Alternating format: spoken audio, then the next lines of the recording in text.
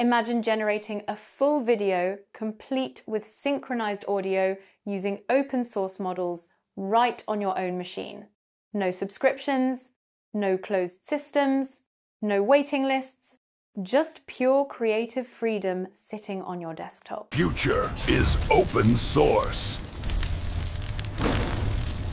When I first saw OVI working, it genuinely felt like crossing a line in AI video creation. That future, it's already here. Hey everyone, welcome back to the channel.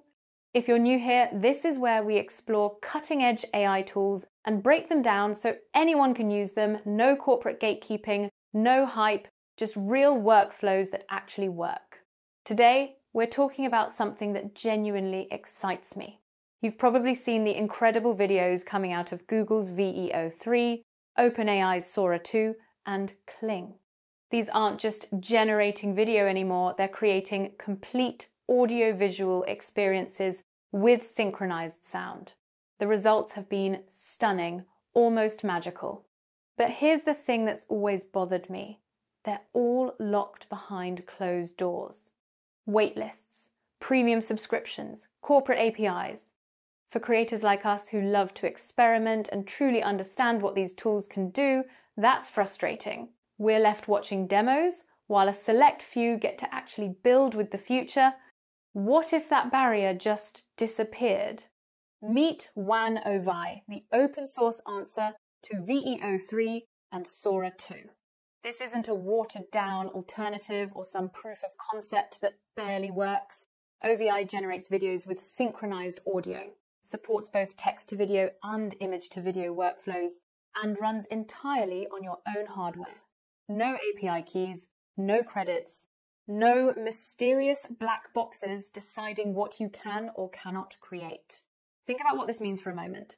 The same multimodal generation capabilities that big labs showcase at conferences, now available to anyone with a decent GPU and the willingness to learn. And the best part, it already integrates with Comfy UI. Enjoy this moment, no matter where it's taking. Which means you can visually build, tweak, and experiment with every single node in the pipeline. Doing. And I need you to trust them. Before we get into the technical setup, let's look at what OVI actually produces. Take a moment to watch these sample videos is talent. It's all about authenticity. You got to be who you really are, especially if you're working. You'll notice something immediately. This isn't just video with sound slapped on top. The audio is contextual. If the model sees someone talking, you hear dialogue tones that match the mouth movements. Come here. If it generates a street scene, there might be cars passing, ambient city noise, even footsteps that sync with movement. Hope beats circuits every time. Humanity endures beyond your code. The camera movements feel deliberate. The transitions are smooth. The overall coherence between what you see and what you hear creates something that feels intentional, not accidental. The truth is that it's actually a really sad tale. So, what do you think of these samples? Could OVI eventually reach the same fidelity as VEO3 or Sora 2? I'm genuinely curious about your perspective because we're watching this technology evolve in real time and your observations help shape how we explore these tools together. Now for the practical part. OVI runs inside Comfy UI, which means you get that visual, node based interface that makes complex workflows manageable. If you've worked with stable diffusion workflows before, this will feel familiar. If you haven't, don't worry, I'm going to walk through every step. The beauty of this setup is modularity. You can see exactly what each component does, where the data flows, and how video and audio generation interact. There's no hidden magic, just a well-designed pipeline you can understand and control.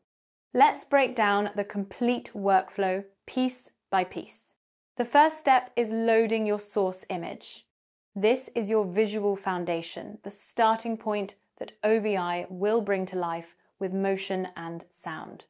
But here's something crucial that could save you hours of troubleshooting. Image dimensions matter enormously. Connect your loaded image to the node. This does two critical things. First, it ensures your image maintains its original aspect ratio. Second, it optimizes the resolution to reduce VRAM consumption. Think of this as preparing your canvas properly before you start painting. Now, if you're running a high end GPU with plenty of VRAM, something like an A100 or H100, you might be tempted to skip this step. That's fine, but here's the rule maintain that aspect ratio religiously. The model expects consistent proportions, and if you ignore this, you'll encounter cryptic errors that seem mysterious until you remember this conversation. For text to video workflows, here's where things get interesting. You can disconnect the extra latent input entirely and manually set your width and height values. The workflow adapts seamlessly to both image based and text based generation. It's the same pipeline with different entry points, elegant design. Before we move forward, let's talk about the models you'll need.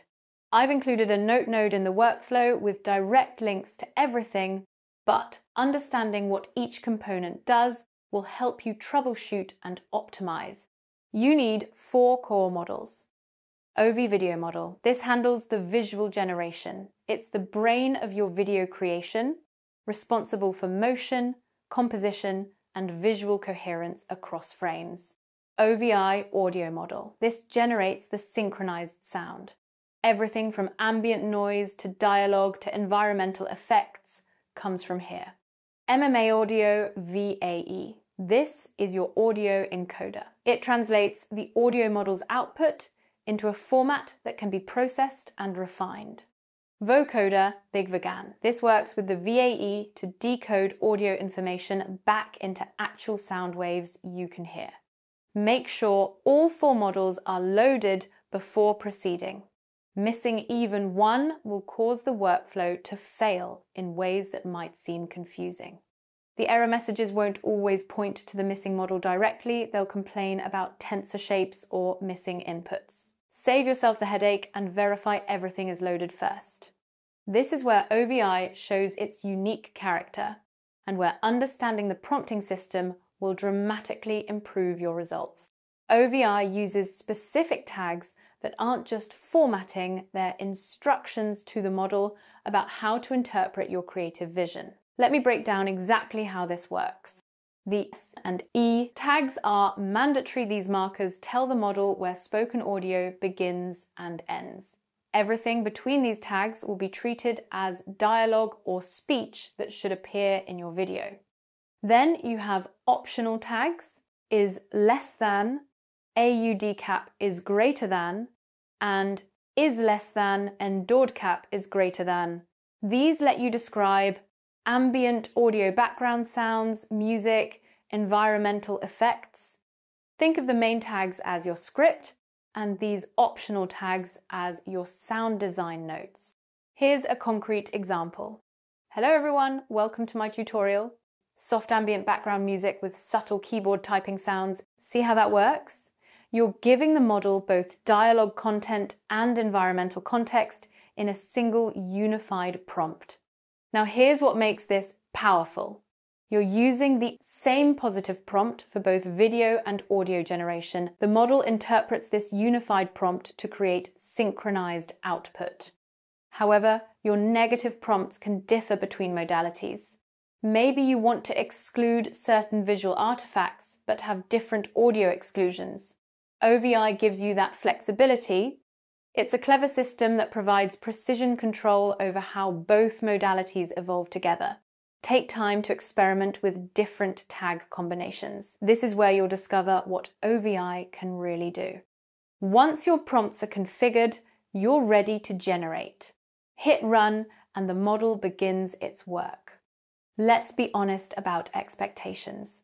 This isn't instant. Depending on your hardware and settings, you might wait anywhere from a few minutes to considerably longer. Use this time, productively plan your next project, grab some coffee, or sketch out ideas for how you'll use this workflow in your creative work. When generation completes, you have two preview points that let you evaluate quality before committing to the final output. Lets you hear the generated sound in isolation. This is incredibly useful for quality checking. Does the audio match your expectations? Is the speech clear and natural? Are the ambient sounds appropriate for the scene? You can catch audio issues here before they're baked into the final video. Then you have the video combine node where everything comes together. This is your final output video and audio married into a complete creation. This is the moment where you see whether your vision translated successfully from prompt to finished piece. And here's something practical. You can tweak playback settings, apply post-processing filters, or re-encode the output if you're integrating it into larger video projects. The workflow doesn't lock you into a single output format, it's designed to fit into real production pipelines. The open source era of multimodal generation has officially begun. OVI might not have the same polish as its commercial counterparts yet, but it represents something far more powerful freedom. Freedom to experiment without API limits, freedom to build your own workflows without platform restrictions, freedom to create without someone else deciding what's possible. Until next time, keep experimenting, keep learning, and keep creating. The tools are in your hands now. Let's see what you build with them.